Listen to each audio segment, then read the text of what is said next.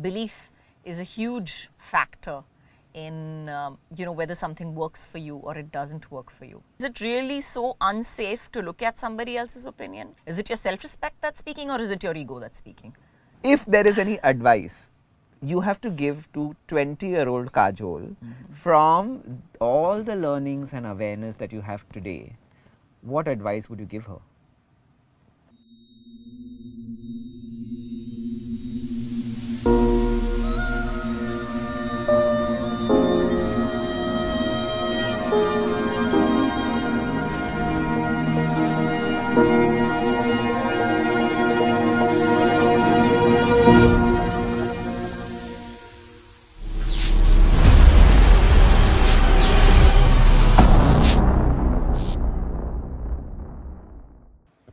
On my journey of self work, I have realized that gratitude is really, really important.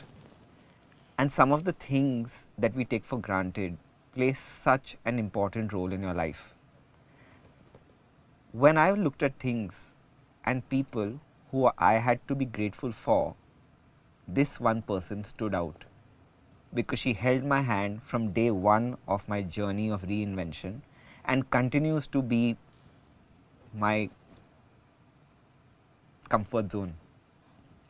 And I'm so happy to have her with me having fun, talking about serious things in a light way, or maybe not. We don't know how this is going to flow. And uh, thank you, Kajol, for coming on to Soul Safar in Hindi. Suffer, the Hindi suffer. Not the English Not one. the English suffer. But basically, you just called me khichdi.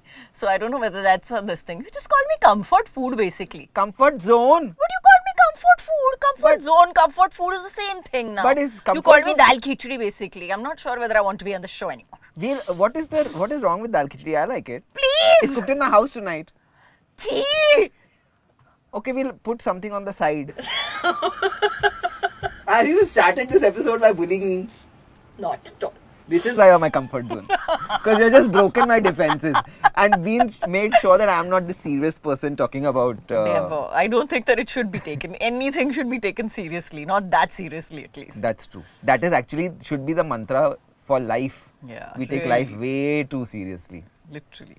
I really believe that. Yeah. Yeah. And uh, actually, I got you here because there's a side of you that nobody really knows of, really. Because, you know. There are lots of sides of me that nobody knows of. Okay, this side of you. this one we'll talk about. This one we are talking about, yeah. this okay. one we're talking about. But uh, The serial killer I'll hide. bury the bodies. the one that we dragged last night. Okay, this you can't use, but okay. Um, so I I, wa- I want to know because we talk a lot about you know meditation, healing, or some reading that we've done, you know, uh, and that's a side that many people may not know, may not know about you.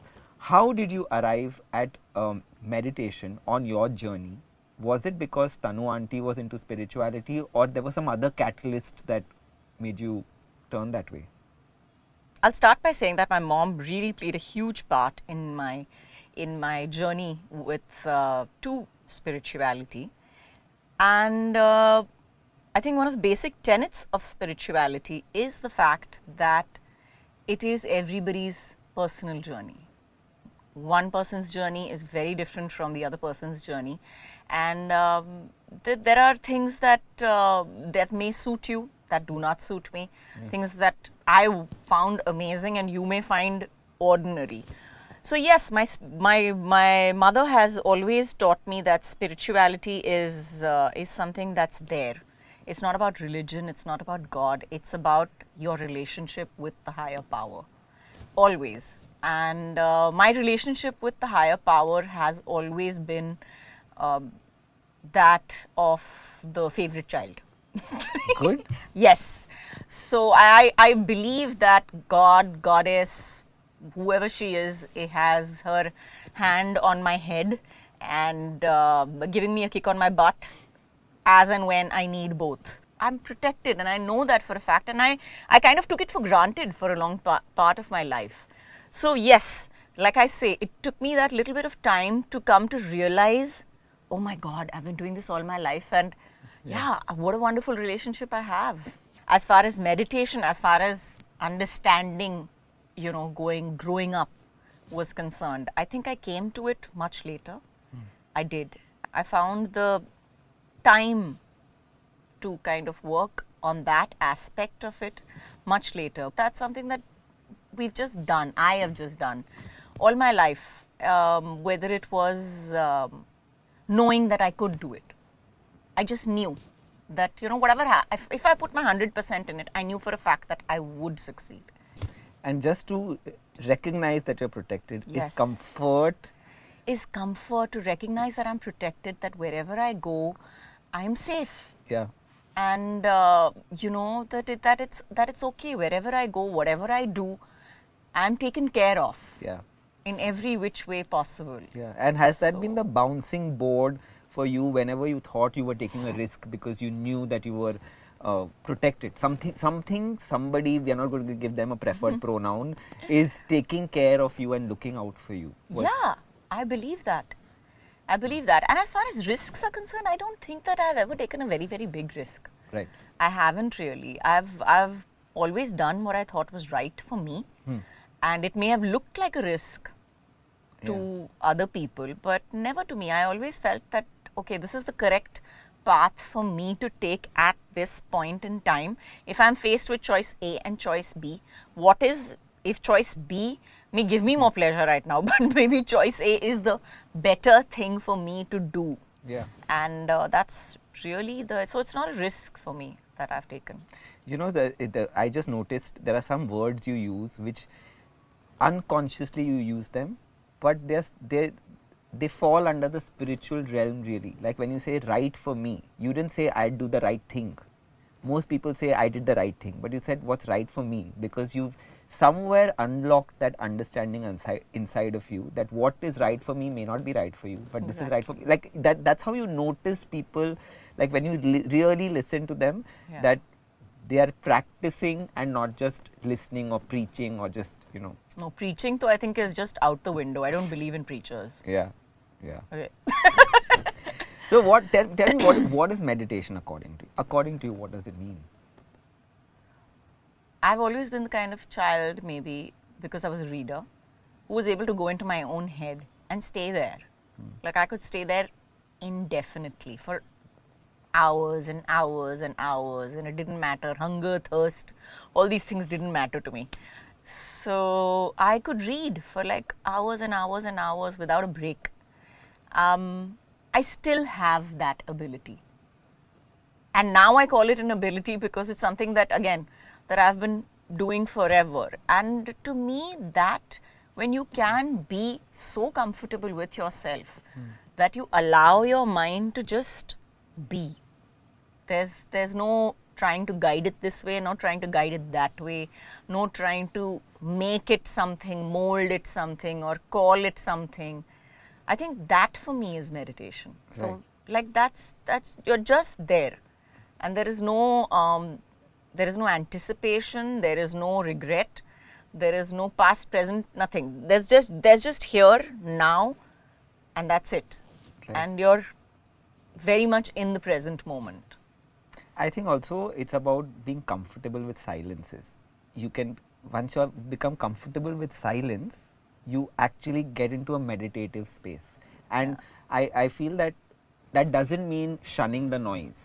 no not at all How comfortable are you with silences? Because everybody knows a Kajol who just loves to talk, but this side of you. How, I'm actually really super comfortable. I really am. I, in fact, oddly enough, I feel like as I've grown older, um, yes, I can ramble, and uh, I tend to when uh, you know when I'm speaking to people, etc. But I think I'm very, very comfortable with not saying anything. Also, I'm quite capable of sitting for like three, four hours in a car journey and not speaking a word. Right. or or even at um, or even with people for that matter though of course they find it extremely rude if i don't say anything. But and i've had that reaction as well. But yeah i'm really really comfortable not saying anything and just being like silent. I don't need to. Yeah. i don't feel the need to make conversation anymore.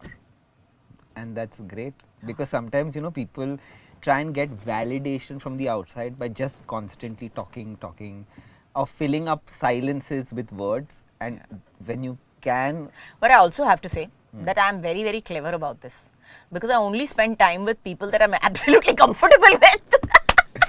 yeah, So there's a twist to that. yeah, like we discussed, we'll go on a solo trip together and do our own thing on that trip. yeah. Exactly. Yeah. Uh, I also know you're into a lot of, you've tried out a lot of healing modalities. I have. And I have. do you, do you feel comfortable to tell me a few of them and if any of them has really resonated with you? I'm really open to quite a few things. I'm open to actually all of it. Okay. I think that there is some uh, there is some truth to what people practice, and I always believe that uh, belief is a huge factor in um, you know whether something works for you or it doesn't work for you. So I've wanted things to work for me very, very badly. Uh, when I wanted to be healed and I wanted something, you know, I wanted to figure stuff out for myself, and I've, you know, approached people. I've approached people with the thought that yes, I want to be fixed. You know, I want this to work. So I think that also has a lot to do with, you know, how it works for you and Yeah. on you. Yeah. It's whether you want it to work also that matters in the long run. So yeah, I've had, I've done, a, and I've done quite a lot. I've, um, I've spoken to animal communicators uh, for my dog, and I have, uh, I've done some hypnotherapy. I've done some theta healing. I've done a lot of work for myself. I've done some therapy as well. And uh, whenever I'm feeling really, really um, out of it or I feel like I'm really confused in my life, I think one of the biggest factors is that I sit down and I write. And I sit down and I, I just write and start writing about whatever is happening and whatever is like going on. And you know, somehow when you when I'm writing it, I try it just kind of figures itself out Yeah. it just figures itself out and it's like when you i don't even i don't even need to go back and read it but when i go back and read it it looks like as though somebody has sat down opposite me and given me an entire explanation as to hmm. you know what has happened here with me Right. so yeah so so i've done about, that's about it i haven't You've really done light language healing, remember? I, I remember you've done Yes. spoken to a light language I healer. have. I have. I've forgotten about that. Yeah, I have. I've done a little bit of light language healing. That was that was okay. I didn't really uh, resonate with it that much. That was maybe it had a subconscious effect on me, but I didn't see a conscious that much of a conscious difference. Okay. So, you know, the Kajol that I know, there are two distinct sides to you. One is a very logical side, which is because I, I know you to, like, if I come to you saying, Kajol, I have a headache and something's not right, you, you know doctors, you, you look at logic, you are like, okay, take this medicine, take that medicine, you do that. And then there's side, a side of you which is a believer in alternative therapy as well. Absolutely. So you are like a perfect combination of the two. How in your head does is there ever a conversation that that logical mind is saying, "Oh, this is bullshit. Don't don't do this," or is there Not at all. There is never a conversation because uh, this is my firm belief that I think that all our problems start with our mind. And when there is something in your mind that is troubling you, it starts from there. The germ starts from there, the bacteria starts from there, and then kind of travels all the way through your body to whichever organ is supposed to, you know, be upset by it. And um, and and I really believe that. I believe that, and I believe that when you figure stuff out for yourself, um, it's a, it's a simple example. It's so stupid, but it's really simple. And I'll give you a simple example. I, I used to get this really, I, I used to get my neck, used to get really badly stuck, my left side. And it would keep getting stuck, and I couldn't understand why it would keep getting stuck. And um, and it was just this, like it was every third day that I would wake up with this. It would just get stuck, just completely frozen. And um, I was looking up Louise L. Hay, yeah her yeah, book. I love her. I love her. Too, I yeah. love her. She's she's amazing. So she has her whole book on uh, you know what each thing actually means, like when you get your neck stuck, etc. And the first thing it was so simple, because uh, what she said was that you're obviously not looking at something. Uh, you're not looking at the problem. You're looking at it the way you want to look at it, but you're not looking at it how it really is. and from somebody else's point of view. You're stuck. You're stuck in this ego and you're stuck in this belief that your way is the right way. And um, whenever my neck would get stuck, I would sit down and remind myself of it. I would have to sit down and remind myself, okay, what is it that, what is it that you're not looking at? Is this what you're not looking at? Okay. So what is it? Is it could it be? Is it really so unsafe to look at somebody else's opinion? Is it really so uh, difficult to see somebody else's side? Is it your ego speaking, or is it is it um, is it your logical mind that's speaking? Is it your self-respect that's speaking, or is it your ego that's speaking? So that's a question that that conversation I had to have my, with myself like about a hundred times before I actually my neck pain actually went away. But so yeah, I took a little bit of practice. But you're getting but there. yeah, I'm fine now. I really am fine. And of course, to be on the uh, the other side of me, of course, also went to a neck doctor and I asked him, and I was just like, you know, so my neck keeps getting stuck. So you- what do I do? So and uh, he was like, you know, why don't you just try putting the pillow on under your neck when you turn around in bed? Like I have a tendency to sleep on my side. So he's like, you know, why don't you, whenever you sleep on your side, your neck needs to be a little higher. Huh. So whenever you sleep on your side, just take a little pillow and put that under your head. But how do you realize that when you're sleeping? Like, how But do you I, up? so you train yourself for that. You have to train yourself while you sleep to do that. And I've Oh. trained myself now. And you do that now. And I do that now. Oh, lovely. it's a combination of both. Yeah, it's a it's a The perfect point balance is of both. that my neck has not got stuck after that. But you know, also when you do self work, yeah. there's a lot of stuff you that comes up Of like course. you you come face to face with your core belief patterns Yes. things that that you hide from yourself which are deeply uncomfortable to encounter and these are times when we all find uh, devices or techniques to center ourselves and it's it's it's that one size doesn't fit all Hmm. so what is there something that is there something specific that you do to find your center I love to knit. I love to read. I love to crochet. I love listening to music. I love working out. So I think all these things that I like to do are actually ways to just calm myself wherever, whichever technique works in that particular situation. Sometimes it's, you know, sometimes if I'm very, very angry, then crochet is not going to work. Let me just tell you that. Though that needle is not going to feel, you know, Happy. it's not going to feel, yeah, it just doesn't have the same push, Poke. pull, stab. digging helps. Yeah. so I haven't tried gardening yet, no, that's not what I meant. yeah. but uh, yeah. So I feel that that those are the times that I I maybe need to work out. So it's it depends from case to case, but ninety percent of the time I like to just sit. I need to breathe, and I need to maybe knit for like half an hour, forty-five minutes, read a book, crochet, listen to my music. Yeah, and I have some of your uh, pieces that you've knit for me, Yeah. uh, crocheted for me at home, and they are like my prized possessions. Thank you. And yeah, I'm, I think I'm going to get more of them. You will for at sure. least, at least I get pictures of everything that you're knitting. Yes, you do. Oh, uh, you know, okay. So this is this is why I call you my comfort zone. I had such a fear of showing myself and uh, in front of people, and I remember when I had even started channeling, I was very scared about what people say about me. They'd say you've gone cuckoo and you're you're schizo or whatever, and you were one of the first people that I that I spoke to, and I was I remember that day I must have said it matter of fact, but it was a conversation that I'd had in my head before that. I was just like, what is she going to say? Is she going to be like, Bhaav, you've lost it. What are you doing? What is this shit? but you were so supportive.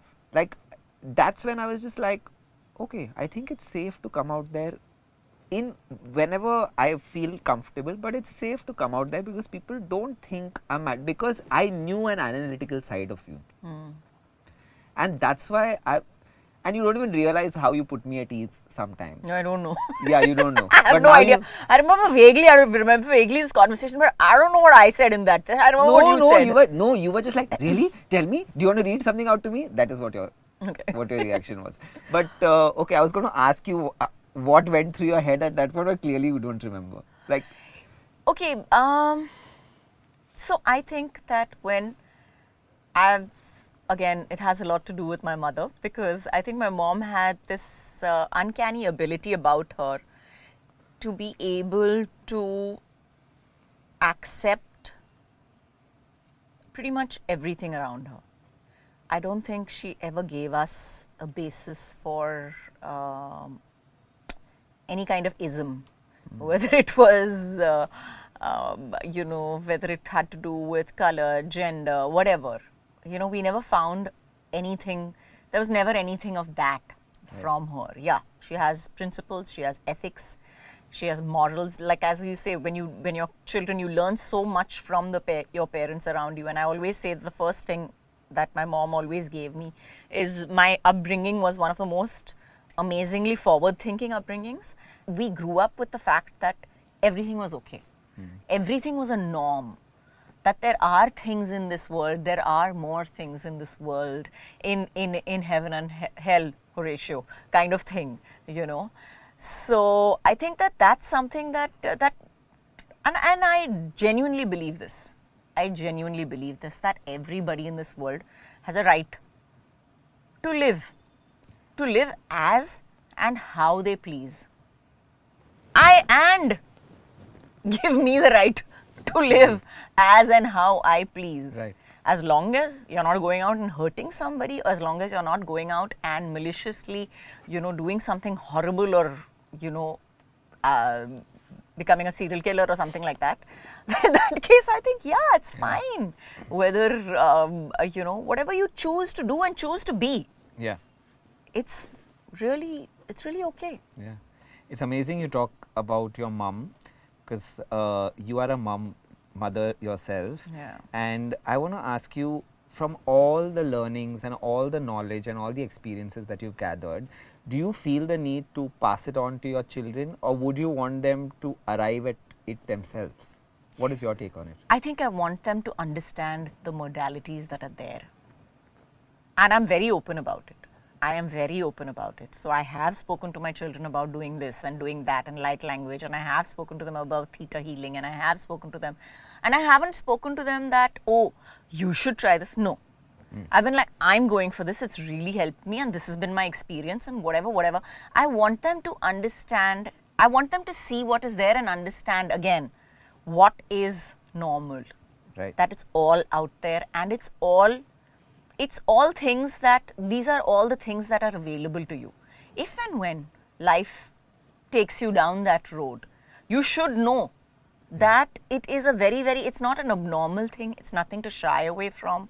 It's nothing to be scared of Yeah. either. It's really nothing to fear.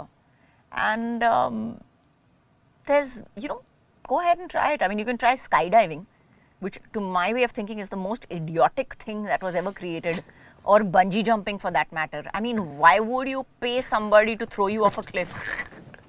Yeah. ask me. I'll do it for free. You won't even have to pay me. There'll be no rope. yeah. There'll be no rope. Simple. What seems like a healthy pattern here that you've got from your mother and you're passing on to your children is there is no installation of fear. She No. taught you to be fearless and you're teaching your children to be fearless. So one of the first things actually that I did with my my daughter was uh, so if she wanted to climb on a staircase or if she wanted to jump from the staircase, she'd be like, "Mama, I'm going to jump. I'm going to jump." I would like, "Okay, baby, I'm here.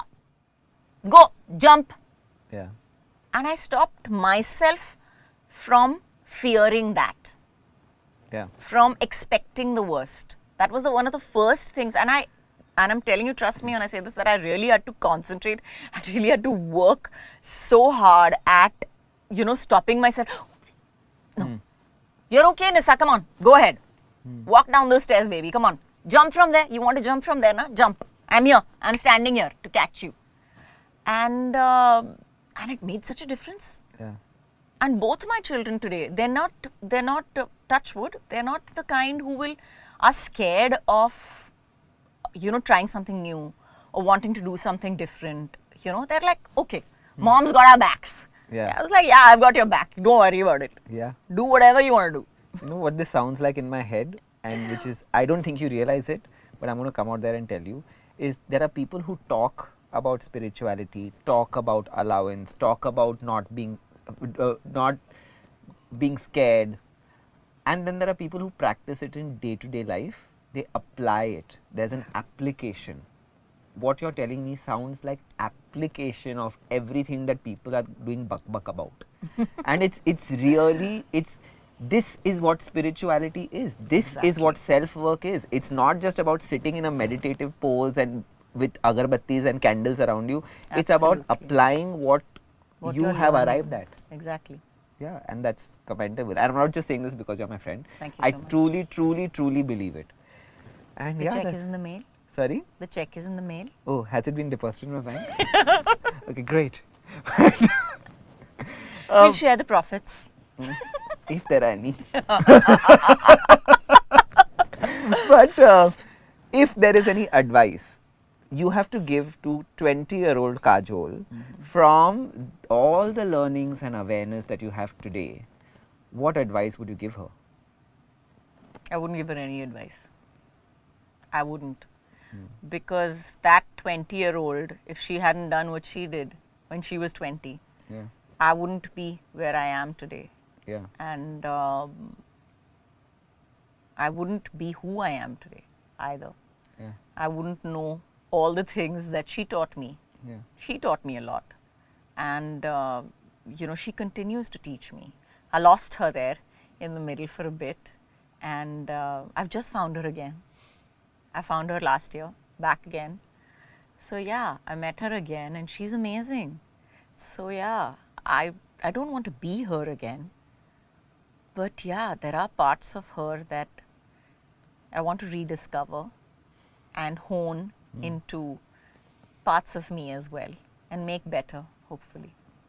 And talking about today, I see, of course, from the outside, people see you as this powerful, fierce woman, but I see how you rediscover your power every single day.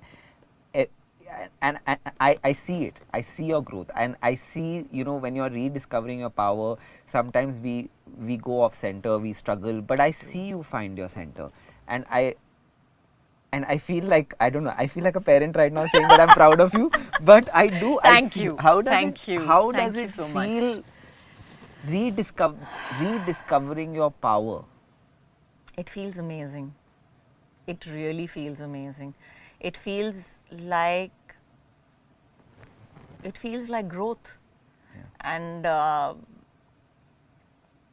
I didn't think that growth could take so long, but it takes its own time, and uh, it feels freeing. Actually, it feels liberating to know uh, what that your capabilities are much beyond your imagination or what your imagination was earlier at least Yeah. so yeah that's that's part of it and uh, every day is a new day every instagram post is a new New. post yeah, and talking about power, if you had to think about one word, what is your power? i would like to believe that my power today is my belief in myself that's all i need You know, I've said this to you before, and can I tell you what I think your power is? Hmm. The ability to give unlimited love. You just love with such an open heart, and I've been at the receiving end of it. I've seen people who've been at the receiving end of it, and I think that's that's one of your strongest suits. That's your power because there are very few people who can give love the way you give love, and that's yeah, that is and vice versa yeah. I can't tell you. I'll take this occasion to say that if I have helped you and if I've been your dal khichdi, you've been my keema kebab. that sounds wrong. Yeah. Okay, forget it. Bread and butter. Okay. peanut butter? Peanut butter? Peanut butter. Peanut butter. Peanut butter. We'll call it peanut butter and leave it at that. yeah. Okay. Just the weirdest friends ever. But Yeah. yeah. But um, But peanut butter and dal khichdi, what a pair. yum. no. We're not going to try it. No, we're not gonna try. it. but uh, I also know your. You spoke about Louise Hay, Yes. and I know you're into affirmations. And if I have to ask you to think of an affirmation that you can think of in this moment that created magic in your life. What's what's that affirmation? I think the one affirmation that it took me very long to believe, also, for that matter, uh, I kept saying it to myself in the hopes that I would start believing it instantly, but it took me like a good two weeks of saying it again and again and again to myself to make me believe it. But it had, again, a huge effect on me was that. Um, I release all the baggage that does not serve me anymore and is not mine. Yeah. That's it. It's just that simple. But it took me because there was a lot of ego involved over there with that affirmation. There was a lot of uh, pride involved with it. There was a lot of attachment. And uh, yeah, so that, that affirmation took the mickey out of me, but it Yeah. worked. You also told me once that every night you say this one one uh, sentence, and uh, I started saying it, Yeah. and it's made a huge difference in my life. But I I want you to tell the audience what is that one thing that you say because it's for me. I know I've applied it, and it's life changing. So it goes like it is life changing. I believe that as well. It's quite a, it's is you know, it's more of a reminder to yourself as well, as to that you matter. And uh, it's I call all my powers back to me that I have given unknowingly or knowingly, I call everything back to me and return all the power that everybody else, that I have taken from anybody else as well. Yeah. Yeah. And in that statement, you don't only honor yourself, but you're honoring the opposite person. Yes. and we can keep talking because we keep going on and on we have we'll go all around the world and come back but at on a parting note the only thing i will tell you and i think that's the most important thing that i want to tell you i've, I've told you this many times before but i'm going to say it on camera is i truly truly love you and Love you. and you should never feel the need to thank me for my love ever But I also think that part of it is accepting a thank you with gratitude. fine Didn't we start the show with gratitude? and acceptance Yes. Okay, fine. Can you be good to me while we do our closing? but thank you, thank you so much, Kajol. Not just for coming on uh, this show, but for everything that you do for me. Thank you so much. Thank you in return. Yeah, thank you. Vice versa. Okay, thank you. We'll call the show Thank You. Thank you. Thank you with Bhaav. Yeah. Thank you with Bhaav. Do remember that the affirmations we discussed on this episode are not prescriptive. And be very mindful when you craft an affirmation for yourself. Because affirmations are like diets. What may work for one person may not work for the other.